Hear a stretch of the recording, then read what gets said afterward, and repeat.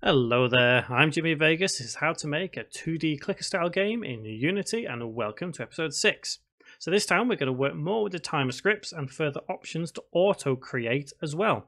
So, the idea of what we're going to do is we're going to have this button actually allow us to, rather than click it, wait until we have enough cash to actually buy something, and then it will display for us to buy, let's say, a baker. Because we're baking cookies, so a baker would make sense. So we're going to start by actually doing a little mm, sneaky work, we could say. And the button itself, um, I'm not sure where to position it, to be honest. So let's just have it uh, over this way a little. And let's make it a little bit bigger and a little bit more fancier at least. So let's change the normal color to maybe a greenish kind of color. Uh, maybe a dark green. And let's have the text uh, white on it. Let's also make it larger. So font size, let's say 30. And let's also rename it to buy Baker. Actually, in hindsight, let's change the font to about 24. Now, what we're going to do is we're going to cheat here because although that button is a button and we can click it and it's got everything attached to it, I'm actually going to hold control, press D to duplicate that button. I'm going to F2, I'm going to rename it to fake baker button and rename the original button to just baker button. Now, this is where the clever bit comes in. So this fake baker button, what we need to do is untick interactable. So it disables it. And also turn off Baker button up here. So now all we have on scene is what appears to be a button to allow us to buy a baker. However, we don't have enough. So to get this working just right, we're going to have to create a script which will allow us to monitor our amount of money. So let's right click, create C sharp script, and we'll call this global baker. So in here, we need to create several variables. The first two being the fake button we've just created and the real button that we already had exist. So I'm going to get rid of any annotations for now. And let's go public game object. Let's call it fake button.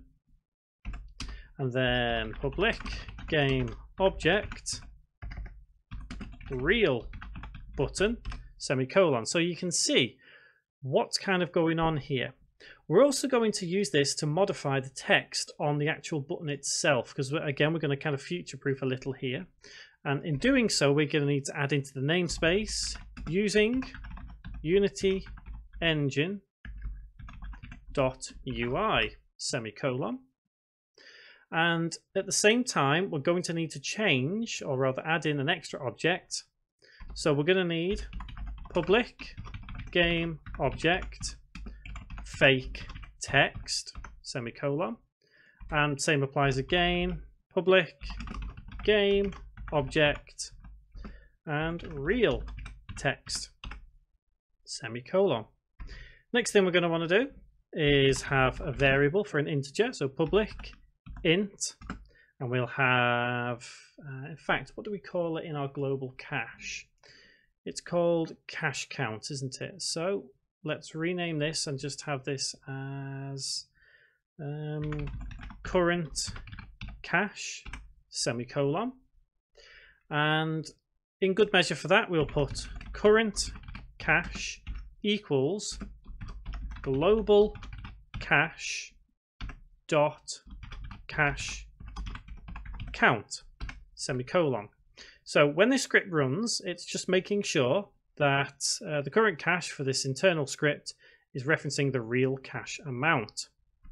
So the button itself to start off with, I think we will have it say uh, buy Baker dash uh, $50. And same with the fake Baker button, we'll have that say buy Baker dash $50. So that means in our void update, if current cash is equal or greater than 50, then do the following. Uh, apologies, greater than or equal to 50. If it is, then we turn the fake button off. Fake button dot set active false. And then we also turn the real button on. So real button dot set active true semicolon. So it really is as simple as that to kind of monitor what is going on. And the reason we have this here is because we may be able to change the text within this script. We may change it from a different script. It kind of depends where we're going with this. But we always need to kind of make sure things are in place just in case. Uh, save that script and we'll add it to, oops, if we click here. So let's add this to our mechanics object. So global baker, add to mechanics. Let's add those objects in. So baker button is real button, and the text within that is real text. Fake baker button, and text for the fake text. So that's all set, ready to go. Now, to show how this actually works, if we press play, and yep, it's not working. However, if we make um, 50 cookie, I probably should have had this as maybe 20 rather than uh, 50. But the idea is every frame it's monitoring just how much money we have. So that means when we get to 50, it will set that button active and we can buy a baker. Perfect.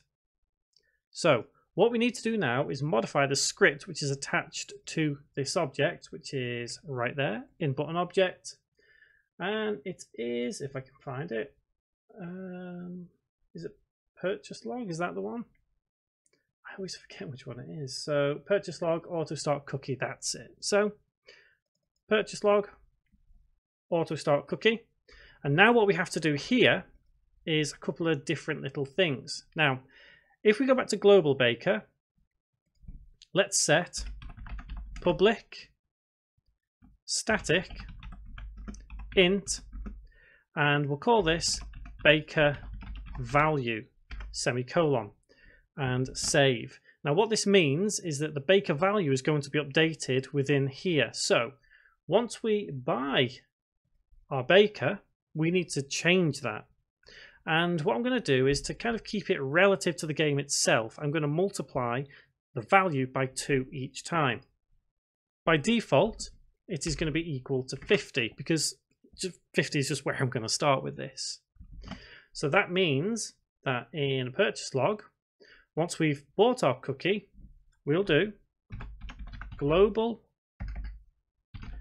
baker dot baker value equals uh, multiplied equals 2 semicolon. So that will multiply it by 2. At the same time, we also need to deduct from our global cash the amount we've just paid for that baker. so that means we need to change this cash count value. So global cash dot cash count minus equals global baker dot baker value semicolon and we should probably put this line of code after we've deducted our amount otherwise we may end up uh, buying again and again and again and it just costs too much like it would cost double what we've just paid so let's save that script head back to global baker and in void update that means we'll have to monitor what the text says on each object. So public, uh, sorry, I'm not sure why I'm declaring it again there. It's actually fake text dot get component text oh close bracket dot text equals and it is buy baker dash dollar sign and then quote and then plus baker value semicolon. And then we do the same again for the real text. So real text dot get component and in spiky brackets again text open close bracket dot text equals buy baker dash and then plus baker value semicolon and save. Now we could theoretically if we don't want to save a bit of time scripting we could change if current cash is greater than or equal to baker value rather than 50 because we've already set it to 50 up here and we need to change it constantly as we go through the game. So if we press Control S and save, head back to Unity, script is thinking and it's done, and press play, everything should be in order. So that means that when we've bought, uh, or rather made, uh, the 50 cookies, and we've sold our 50 cookies, then that will mean that we can buy our baker. And we should see this in action now once we get there. So this will change to 100. Perfect. Now, yep, you can see that's all good and well. It's going a bit crazy there. However, we need to now modify that. So once we set our, um, our value uh, lower, I should say, then we need to actually turn off those buttons and set the fake button as active again. So let's get this in order. So when we come across here to say current cash is all good and well. So after we have set, uh, or rather we've bought something, what we can do is set a variable to turn off within the global baker. So to do that, we'll go public static bool. And we'll call it turn off button semicolon. In fact we'll make that equal to false semicolon. So within void update what we'll need to do is if turn oops turn off button equals true semicolon, uh, not semicolon, open curly bracket, sorry. Uh, we need to turn the real button off, real button dot set active false, semicolon, and fake button dot set active true, semicolon. And at that point, it should be pretty obvious what we need to do. I'm just going to get rid of void start there. Don't think we need it. Uh, save that script, and then on purchase log, yeah, you've guessed it now, global baker dot, uh, what do we call it? Turn off button equals true, semicolon, and save. And then one thing uh, we should add after we turn them buttons off, we need to put turn off button equals false, semicolon, and save. So to save a bit of time now in testing, I'm going to change this baker value to 10. Just so as I only have to make um, 10 cookies before I can actually buy a baker. You can see it's automatically updated anyway. So if I make 10 cookies, sell 10, buy a baker, you can see the button has now turned itself off. And theoretically, you can go on like this you can sell the cookies, and once we get to 20, we can rebuy. So that is how we can set this up so as we can buy uh, bakers to increase. Now, what we need to do eventually is further develop this purchase log to allow the auto create to increase its value in um, the increases in cookies. And that's something we'll get into because next episode, what we're going to do is we're going to have a little panel uh, with some stats on that says so many bakers cooking so many per second, and we'll work more on this levels of the auto maker. Uh, we may also look at some sound effects as well. So, guys, until that next episode, thank you very much for watching.